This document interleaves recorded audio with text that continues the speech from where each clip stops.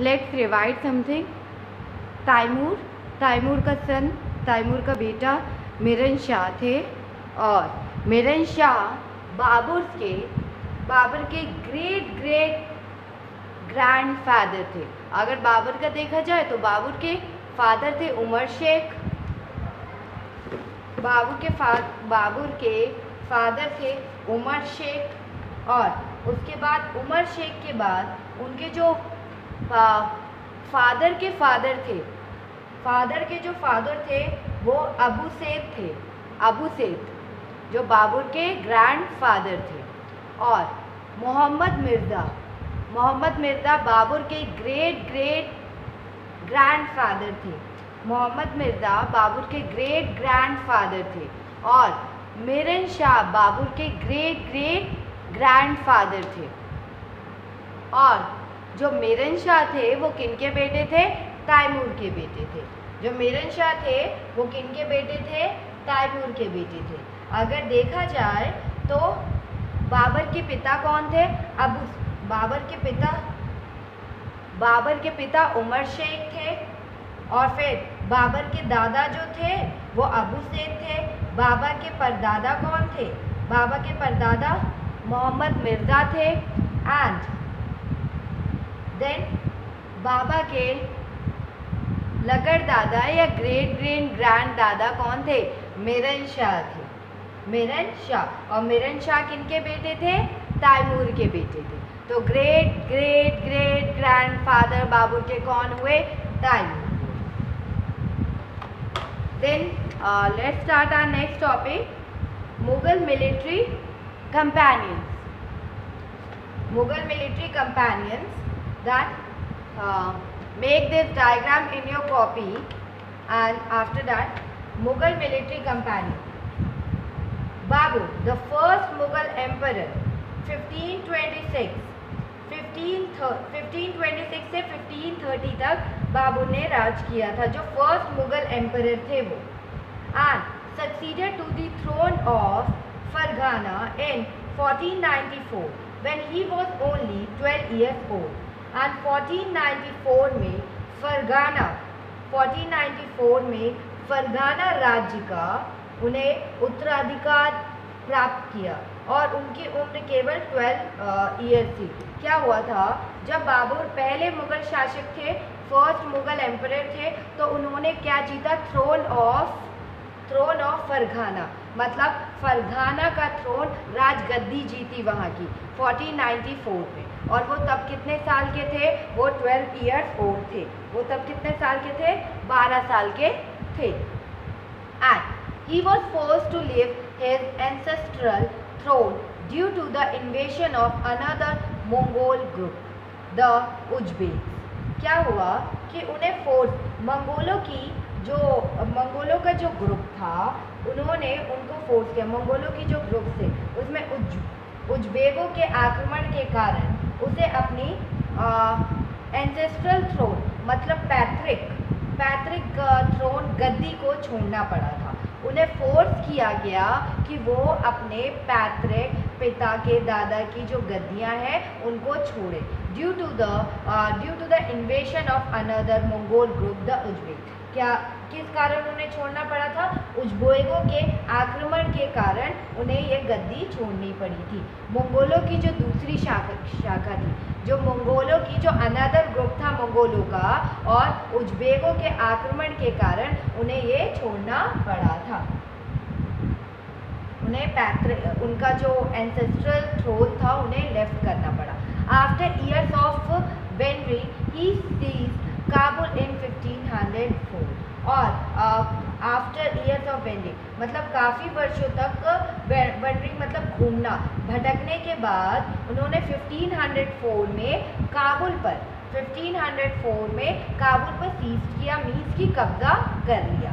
और in 1526 he defeated the sultan of Delhi Ibrahim Lodhi at Panipat and capture Delhi and Agra और उसके बाद 1526 में उन्होंने डिफीट किया डिफीटेड उन्होंने सुल्तान, दिल्ली के सुल्तान को डिफीट किया दैट इज़ इब्राहिम लोधी को उन्होंने हराया.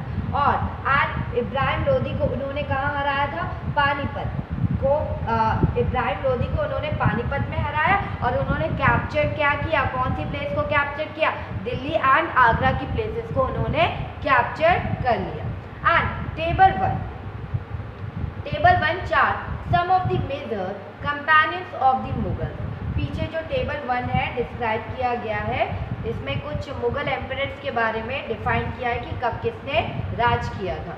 और study carefully and see if you can notice any long term pattern आप इसको ध्यान से पढ़िएगा और इसमें देखिएगा कोई लॉन्ग टर्म पैटर्न है जिसने आ, कोई ऐसा कुछ है जो लॉन्ग टर्म पैटर्न में हुआ हो। And you will notice for example आप नोटिस करेंगे for example that the Afghan war an immediate threat to Mughal authority for example जो अब, उदा, अगर एग्ज़ाम्पल लें तो आप नोटिस करेंगे, जो अफगान थे, जो अफगान थे, वो मुगल अथॉरिटी के लिए एक खतरा बन गए थे। जो अफगान थे, जो अफगान थे, वो इमीडिएट एक अचानक से एक खतरा बन गए थे मुगल अथॉरिटी के लिए। And note the relationship between the Mughal and the see also chapter four seven में आप देखेंगे कि मुगलों और अहोम, मुगलों और अहोम में Sikh Sikh and Sikh and Mewar, Sikh and Mewar में एंड मरवाड़ मरवाड़ में। के रिलेशंस को आप देखेंगे।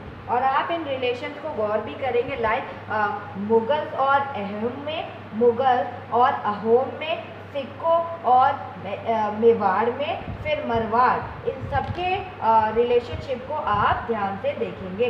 Chapter seven chapter eight and chapter ten देख how was Humayun's relationship was how was Humayun's relationship Safavid Iran how was Humayun's relationship with Safavid Iran different from Akbar जो हिमायू का relationship relation था सवाबित Iran से, वो सवाबित Iran से अकबर और हुमायूं के संबंध में क्या अंतर था? You can say how was relationship उनका जो सवाबित ईरान से था, वो अकबर से कैसे डिफरेंट था? Date the annexation of Golconda and Bijapur in Aurangzeb raise and hostility in the Deccan क्या औरंगज़ेब के जो रिंच थे जो शासन काल में गोलकुंडा और बीजापुर के गोलकुंडा और बीजापुर के एनशेशन अधिकरण से दक्कन में युद्ध का अंत हो पाया। क्या ऐसा हुआ था कि डिड द इंसेशन जो इंसेशन था, जो अधिकरण, किसी पे कब्जा करना और गोलकुंडा और बीजापुर इन औरंगज़ेब के शासनकाल में, क्या उनके शासनकाल में ऐसा होना? उनके हॉस्टेलिटी इन डेकन क्या डकन के युद्ध में उनका अंत हो पाया था? क्या डकन के युद्ध में वो हार गए थे? That figure three figure three Mughal army on company Mughal फौज मुगल आर्मी कहाँ जा रही है अभियान पर? और फिगर फोर क्या कह रहा है? Figure four.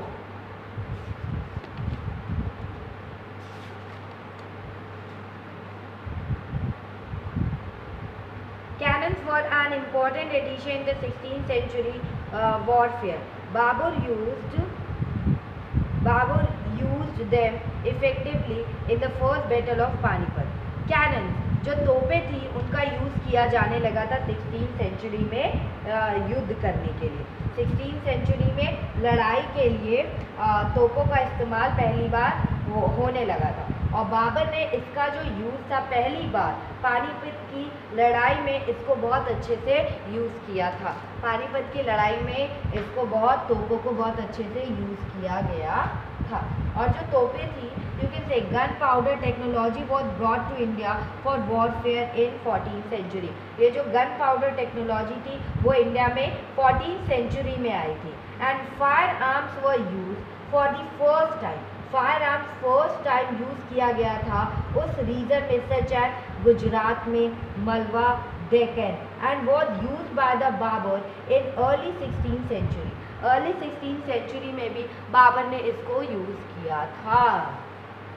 एंड बाबर ने इसको यूज़ किया था। Then table 1 Mughal emperors Mughal emperors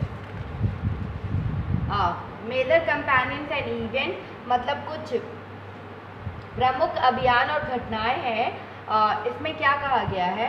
पहला है बाबर। बाबर 1526 से 1530 तक उन्होंने उनकी लाइफ थी मतलब 1526 से 1530 तक उन्होंने क्या क्या किया? 1526 में उन्होंने इब्राहिम लोदी को हराया था और his Afghan supporters at Panipat और उनके इब्राहिम लोदी को हराया और जो उनके अफगान सपोर्टर्स थे, इब्राहिम लोदी के जो अफगान सपोर्टर्स थे, उनको भी पानीपत में हराया। एंड 1527 27 में उन्होंने डिफीट किया राणा सांगा को। उन्होंने किसको डिफीट किया था? राणा सांगा को। वो Rajput ruler and allies at and allies at Khanua उन्होंने 1527 में क्या किया था? खनुआ में राणा सांगा, राजपूत राजाओं और उनके और उनके सपोर्टर्स को या उनके एलिस को, समर्थकों को भी हराया था। एंड 1528 में defeated the Rajput at Chanderi उन्होंने राजपूत को हराया था चंदेरी में। राजपूत को कहाँ हराया? चंदेरी में। अपनी मृत और establish control over Agra and Delhi before his death अपने मतलब बिफोर हिज डेथ मरने से पहले उन्होंने आगरा और आगरा और दिल्ली पर अपना कब्जा कर लिया था। एंड नेक्स्ट बाबर के बाद हुमायूं। जो हुमायूं थे, हुमायूं ने 1530 से 1540 एंड 1555 से 1556 तक अपना वर्क किया था। एंड आफ्टर दैट उन्होंने क्या किया? Humayun divided his inheritance according to the will of his father उन्होंने अपने वसीयत के अकॉर्डिंग ही, अपने पिता की वसीयत के अकॉर्डिंग ही अपनी जायदाद का बंटवारा किया था। And his brother was each given a province और उनके सारे भाइयों को एक एक प्रोविनेंस डिवाइड किया गया था। एक एक प्रोविनेंस डिवाइड किया गया था एक एक प्रांत सबको दिया गया था। और the ambition of his brother Mirza Kamran Mirza Kamran weakened Humayun's cause against Afghan competitor उनके जो भाई थे मिर्ज़ा कामरन की मिर्ज़ा कामरन की जो एम्बिशंस थे, उनके कारण हुमायूं हुमायूं अपने अफ़गान हुमायूं अपने अफ़गान कॉम्पिटिटर के सामने वीक पड़ गए थे। जो उनके ब्रदर मिर्ज़ा कामरन थे, उनके एम्बिशस के कारण जो हुमायूं थे, वो वीक पड़ गए थे अपने अफ़गान कॉम्पिटिटर्स से। And Sheikh, Sher Khan defeated Humayun eight चौथा। जो शेर खान थे, उन्होंने क्या किया? हुमायूं को दो बार हराया था। और दो बार किसमें हराया था? एट चौथा में हराया था 1539 में। और 1540 में कहाँ हराया था? कन्नौज में। And forcing him to flee to Iran और ने फोर्स किया कि आप यहाँ से भाग जाओ। भगा दिया उन्हें। और कहा कि तुम ईरान चले जाओ। किसने उनको हराया था? शेर खान ने उनको दो बार हराया। 1539 में हराया एंड 1540 में हराया। और उन्होंने कहा कि तुम यहाँ से चले जाओ ईरान। और in Iran Humayun received help from from साविशा और ईरान में हुमायूं की हेल्प किसने की थी? सफ़ाविद शाह ने। सफ़ाविद शाह ने उनकी हेल्प की। And he recapture Delhi in 1555 but died the next year after an accident in the building उन्होंने फिर कैप्चर किया दिल्ली को 1555 में। बट वो नेक्स्ट ईयर ही उनकी डेथ हो गई, क्योंकि एक एक्सीडेंट हो गया था बिल्डिंग में। एक एक्सीडेंट हो गया था बिल्डिंग में, इसके कारण हुमायूं की डेथ हो गई थी। And after that Akbar Akbar was उनका अकबर का क्या था? 1556 से 1605 1556 से 1605 फ़र्स्ट हमने बाबर के बारे में पढ़ा second Humayun and the third is Akbar 1556 से 1605 Akbar was 13 year old when he became emperor Akbar 13 years के थे जब वो एम्पर बने, सम्राट बने. And his raise can be divided into three period जो उनका शासन काल था रेज जो उनका शासन काल था, उन्हें थ्री पीरियड्स में डिवाइड किया गया था. एंड फ़र्स्ट क्या था?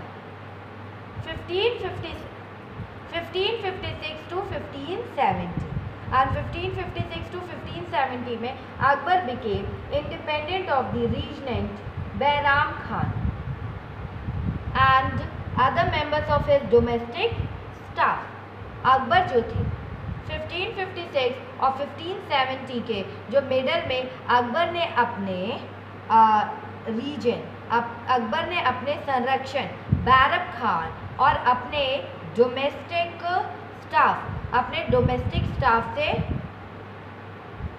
और अकबर अपने बैरब खान और डोमेस्टिक स्टाफ से स्वतंत्र हो गया और स्वतंत्र हो गए, आज़ाद हो गए।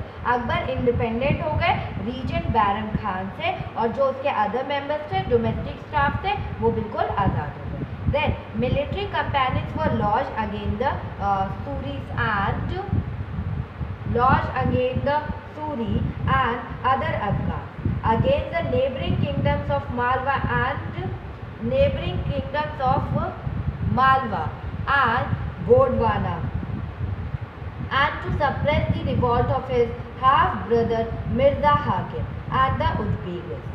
And in 1568, the Shishodia capital of Chittor was seized and in 1569, Ranthambore.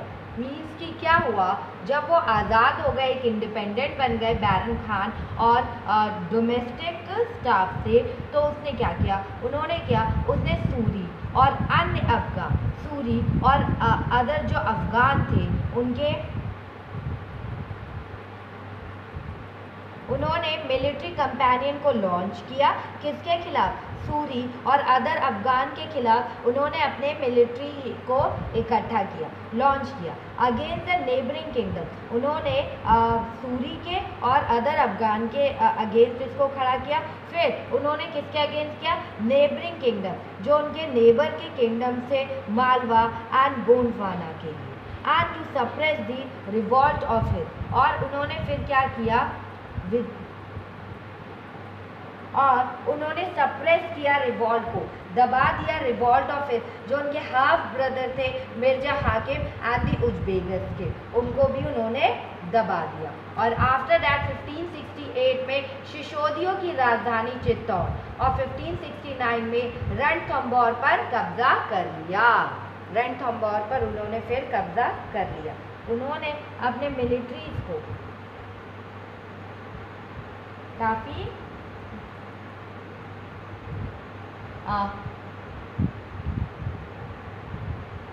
उन्होंने अपने मिलिट्रीज को काफ़ी ट्रेनिंग दी थी।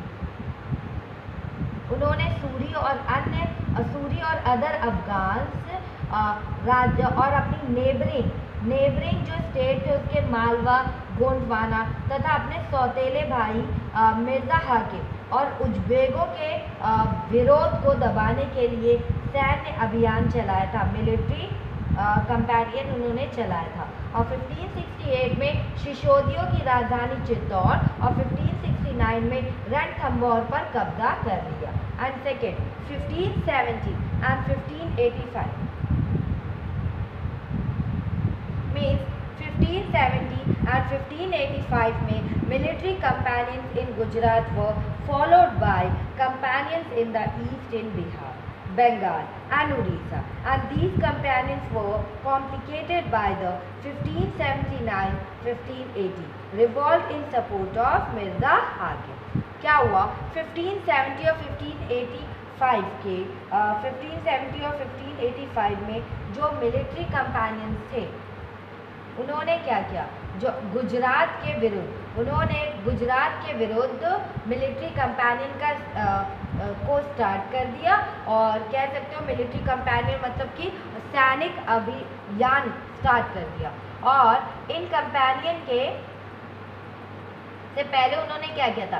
बिहार बंगाल और उड़ीसा में भी कंपेनियन चलाया था जिन्हें 1579 और 80 में मिर्ज़ा हाकिम के पक्ष पे हुए विद्रोह ने और जटिल कर दिया। मीन्स कि ये जो विद्रोह हो रहे थे, वो काफ़ी कॉम्प्लिकेटेड हो गया था। उन्होंने मिलिट्री कंपेनियन चलाया था गुजरात और उनको फॉलो कर रहे थे। फॉलोड बाय द कंपेनियन मतलब ये जो उन्होंने गुजरात में चलाया, वो फॉलो किया जा रहा था बिहार और बंगाल और उड़ीसा में भी ये कंपेनियन चलाए जा रहे थे। लेकिन ये जो अभियान थे, वो कॉम्प्लिकेटेड हो गया, क्योंकि इससे पहले भी मिर्ज़ा हाकिम में रिवोल्ट हुआ था। उसके कारण इसमें प्रॉब्लम आ गई। 1579 से 1580 एंड आफ्टर दैट 1585 से 1605 एक्सपेंशन ऑफ़ अकबर एम्पायर क्या हुआ? इस टाइम पे उनका जो एम्पायर था, वो एक्सपैंड होने लगा। और जो उन्होंने अभियान कंपेनियंस वो launch in the north west और जो अभियान था,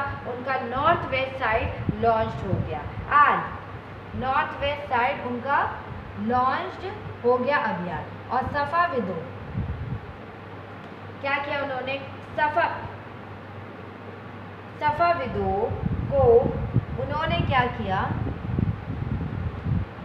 उन्होंने Kandahar was seized from the Safavids and Kashmir was annexed and also Kabul after the death of Mirza Hakim and companions in the Deccan started, and Berar Khandesh and parts of Ahmednagar were annexed. Means क्या हुआ कि उन्होंने अब अभियान तो चला दिया था और सफ़ाविदों को हराकर कांधार पर कब्जा किया। उन्हें सफ़ाविदों को हराकर किस पे कब्जा किया? कांधार पर कब्जा कर लिया और कश्मीर को भी उसमें कब्जे में जोड़ लिया। और जो मिर्ज़ा हाकिम थे, मिर्ज़ा हाकिम के मृत मरने के बाद काबुल को भी उसने अपने राज्य में मिला दिया। और दक्कन में आ, उन्होंने कंपेनियन की शुरुआत हुई और बरारा खानदेश अहमदनगर के कुछ पार्ट को भी उसने अपने राज्य में मिला लिया। उसने अपने राज्य में क्या किया? सबको उसने अपने राज्य में मिला लिया। In the last year of his Akbar was distracted by the rebellion of prince Salim the future emperor Jahangir क्या हुआ कि अपने रिज्म के अंतिम वर्षों में, अपने शासन के लास्ट ईयर्स में अकबर की जो, अकबर का जो रिज्म था, वो राजकुमार सलीम के विद्रोह के कारण लड़खड़ा जो अकबर ने इतना बड़ा सत्ता खड़ा कर दिया था, वो राजकुमार सलीम सलीम के, सलीम ने विद्रोह किया और उसके कारण ये क्या हुई? ये लड़खड़ाने लगी। और यही सलीम आगे चलकर सम्राट जहांगीर कहलाया और यही सलीम आगे चलकर क्या कहलाया? सम्राट जहांगीर। एंड आफ्टर डैट हम क्या पढ़ेंगे? जहांगीर। जहांगीर का 1605 टू 1627 इन्होंने भी क्या किया? मिलिट्री कंपेनियन इन्होंने भी स्टार्ट कर दिया बाय अकबर कंटी न्यू और जहांगीर ने अकबर के जो मिलिट्री कंपेनियन को आगे बढ़ाया। The Sisodiya ruler of Mewar Amar Singh accepted Mughal service जो अमर सिंह थे मेवाड़ के जो शिशोदिया रूलर थे उन्होंने आ, रूलर शिशोदिया कौन थे? आ, अमर सिंह थे। उन्होंने मुगलों की उन्होंने क्या कहा कि ठीक है मुझे एक्सेप्ट है मुगल की सर्विस मुझे एक्सेप्ट है मुगल की service Then, less successful companions against the the Ahom and the Ahmednagar followed. मतलब क्या हुआ? जहांगीर के शासन के अंतिम वर्षों में सॉरी उन्होंने क्या किया? आ, इसके बाद सिखों अहमो और अहमद नगर के खिलाफ अभियान चलाए गए जो सफल नहीं इनके खिलाफ अभियान तो चलाए गए लेकिन ये लेस सक्सेसफुल हुआ। ये क्या हुआ? लेस सक्सेसफुल हुआ। एंड प्रिंस पूरम जो प्रिंस पूरम थे उन्होंने क्या किया? The future emperor Shahjahan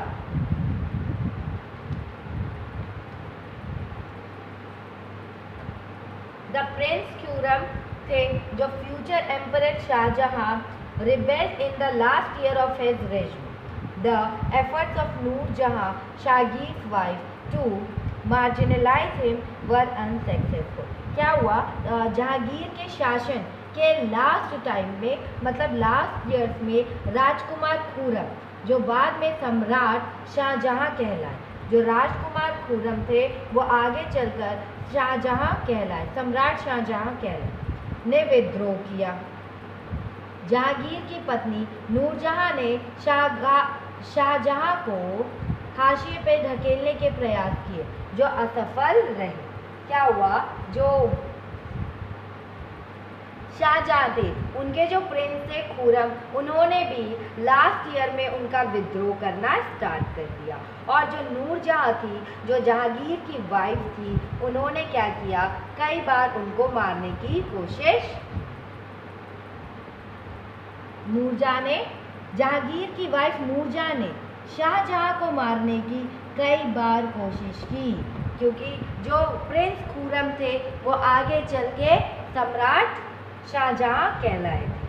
And Shahjahan after that Shahjahan Shahjahan को किसने मारने की कोशिश की थी? नूरजहां। और नूरजहां किसकी वाइफ थी? जहांगीर की वाइफ थी। Then Mughal companion continue in the Deccan under Shahjahan. The Afghan जो मुगल जो दक्कन में क्या हो रहा था? दक्कन में शाहजहाँ के मुगल कंपेनियन चल रहे थे, ये कंटिन्यू रहे और ये दक्कन में चलने लगे, शाहजहाँ के कंपेनियन अभियान को चलाया जा रहा था। द अफगान नोबल खान जहान the Afghan Nobel Khan Jahan Lodi Khan Jahan Lodi rebel and was defeated क्या हुआ कि अफ, अफगान अभिजात खान जहान लोधी ने रिबेल किया विद्रोह किया और वो हार गए. एंड कंपेनियन फॉर लॉज अगेंस्ट अहमदनगर जो अभियान चलाने लगा चल, जो अभियान चलाया जा रहा था वो अहमदनगर के विरुद्ध था उसके अगेंस्ट था. इसके अगेंस्ट था। The Bundel were defeated and Orchha थी। बुंदेल को डिफीट किया गया। बुंदेल को हराया गया। उनकी हार हुई और ओरछा पर कब्जा कर लिया गया। एंड ओरछा पर कब्जा कर लिया गया। In the north west, the companion to seize Balkh from the Uzbek was unsuccessful. And Kandahar was lost to the Safavid क्या हुआ था कि जो नॉर्थ वेस्ट है नॉर्थ वेस्ट में बल्ब पर कब्जा करने के लिए उज्बेगों के विरुद्ध अभियान हुआ, जो अनसक्सेसफुल रहा। और उसका रिज़ल्ट क्या आया?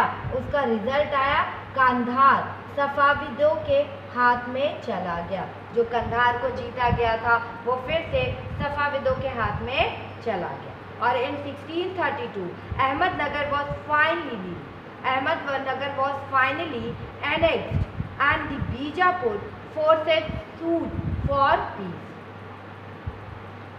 1632 में रिज़ल्ट 1632 में क्या हुआ? अहमदनगर को मुगलों के राज्य में मिला लिया गया।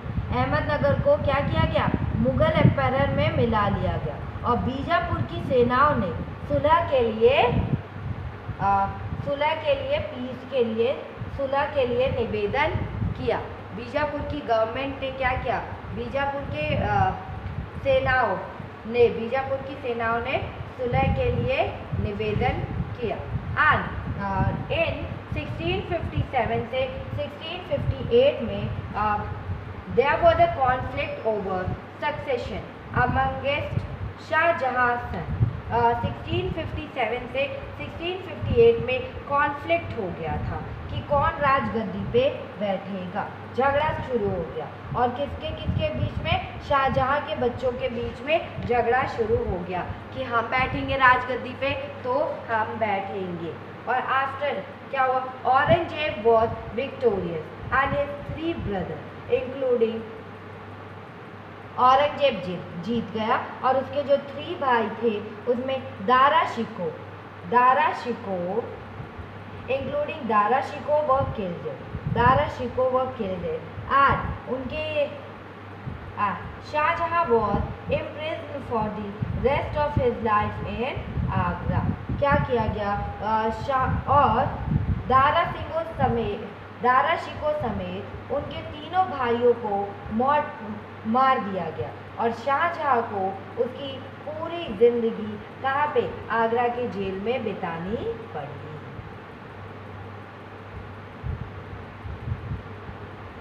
आगरा के जेल में बितानी पड़ी। And Shah was impressed for the rest of life in Agra. Last is Aurangzeb. And Aurangzeb 1658 से 1707 से uh, Aurangzeb 1658 to 1707 in the northeast the the Ahoms were defeated in 1663 but rebelled again in the 1680 north east में क्या किया गया? अहोम को अहोम को हराया गया। लेकिन उन्होंने 1680 में दोबारा रिबेलियन किया। उसका विद्रोह करना स्टार्ट कर दिया। And companions in the north west against the and companions in the north west against the Yusuf Zai Yusuf नहीं Zai Yusuf Yusuf Zai and the Sikhs were tempor temporarily successful and क्या क्या किया गया? जो अभियान चलाया गया north west में अगेंस्ट उनके खिलाफ, यूसुफ दाई और सिखों के खिलाफ जो अभियान चलाए जा रहे थे, वो temporarily successful and Mughal, uh, Mughal intervention in the succession and internal politics of the Rathod Rajput of Marwar led to their rebellion. Led to their rebellion. क्या हुआ इसका कारण था कि मारवाड़ के राठौर राजपूतों ने मुगलों के खिलाफ विद्रोह करना स्टार्ट कर दिया मुगलों के खिलाफ विद्रोह करना स्टार्ट कर दिया मरवाड़ के Rathore Rajput and companions against Maratha chief Shivaji were initially successful But Aurangzeb himself, an independent king, and resumed his companions against the Mughal. उन्होंने क्या किया? इसका जो रीज़न था, उनकी जो इंटरनल पॉलिटिकल चीज़ें थी और सक्सेशन के मसलों में मुग़लों का हस्तक्षेप होना स्टार्ट हो गया था। मीन कि मुग़ल अब उसमें आ, उनके इंटरनल बातों पे इंटरफेयर करने लगे थे। एंड आफ्टर डैट जो मराठा चीफ स्टेट थे जो मराठा हाँ ये जो मुगल इंटरवेंशन था मुगल इंटरफेयर करने लगे थे उनके उत्तराधिकारी को लेकर internal politics Rathore Rajput of Maratha to their rebellion और राजपूतों के मुगलों के खिलाफ, इसीलिए मरवाड़ के राठौर ने राजपूतों के खिलाफ विद्रोह किया था।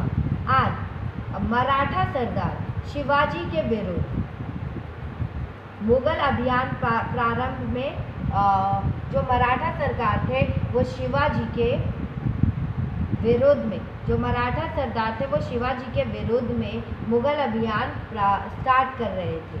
और, लेकिन, परंतु औरंगज़ेब ने शिवाजी का अपमान किया।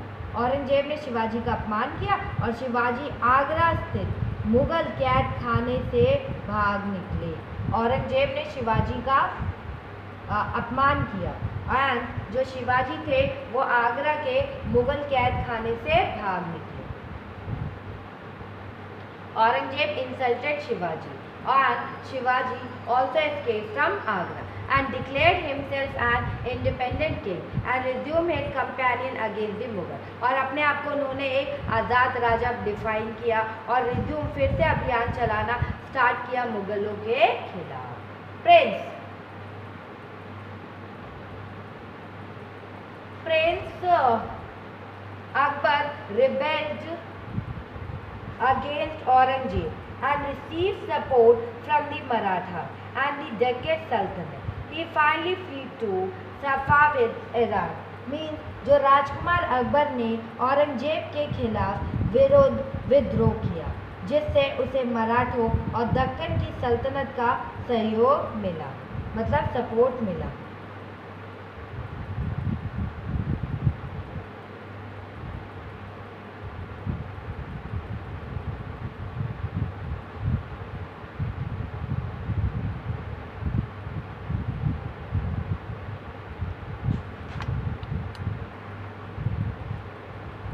दैट इज़ उन्होंने क्या किया राजकुमार अकबर ने औरंगज़ेब के विरुद्ध विद्रोह किया और जिससे उसे मराठा और दक्कन की सल्तनत का सपोर्ट मिला। And he finally free to Safavid Iran और लास्ट uh, में वो सफाविद ईरान भाग गया। अंततः वो सफाविद ईरान भाग गया। And after Akbar's rebellion, Aurangzeb sent armies against the Deccan Sultanate. And Bijapur was annexed in 1685 and Golconda in 1687. क्या हुआ कि अकबर के विद्रोह के बाद औरंगज़ेब ने दक्कन के जितने भी औरंगज़ेब ने अपनी आर्मी को कहाँ भेजा दक्कन सल्तनत पे आ, पे दक्कन पे भेजा। अकबर ने रिबेलियन विद्रोह किया। फिर भी औरंगज़ेब नहीं माना और उसने अपनी आर्मी को दक्कन सल्तनत भेज दिया। और उसके बाद 1685 में बीजापुर और 1687 में गोलकुंडा को मुगलों ने अपने राज में मिला लिया। मुगलों ने अपने राज में मिला लिया। And from 1698 Aurangzeb personally manage companion in the Deccan against the Maratha, who started guerrilla warfare. क्या हुआ? कि 1698 में औरंगज़ेब ने दक्कन में मराठों को जो छापामार, दक्कन में मराठों को जो कि क्या कर रहे थे? गुरिल्ला वॉरफेयर कर रहे थे। उन्होंने क्या किया? गुरिल्ला वॉरफेयर मतलब छापामार पद्धति का उपयोग कर रहे थे। के विरुद्ध अभियान का प्रबंध स्वयं किया। मीन्स कि औरंगज़ेब ने पर्सनली मैनेज किया। इस कंपेनियन को चलाया, अभियान को चलाया। डेकन इन द डेकन में चलाया अगेंस्ट मराठा। मराठा क्या कर रहे थे? यूरिला वॉरफेयर कर रहे थे। मतलब छापा मार, हर जगह हर चीज़ को ढूंढना ढूंढ रहे थे, उपयोग कर रहे थे। के विरुद्ध उन्होंने चल और लास्ट है कि Aurangzeb also had to face the rebellion in north India of this jar and Satnam and in the north east by the Ahom and the in the Deccan of the Maratha his death was followed by a succession conflict among क्या हुआ था? औरंगज़ेब को औरंगज़ेब को north India में सिखों जाठो और सतनामियों। सतनामियों एंड नॉर्थ ईस्ट में अहोमों और दक्कन में मराठों के विद्रोह का सामना करना पड़ा था। इनको इतने सारे विद्रोह का सामना करना पड़ा। और जब उनकी मृत्यु हुई तो कौन सक्सेशन कौन उनका उत्तराधिकारी बनेगा? इसके लिए उनके बेटों में क्या होने लग गई? लड़ाइयाँ होने लग गई। उनके बेटों में क्या होने लग गई? लड़ाइयाँ होने लग गई कॉन्फ्लिक्ट होने लग गए उनके बेटों में। एंड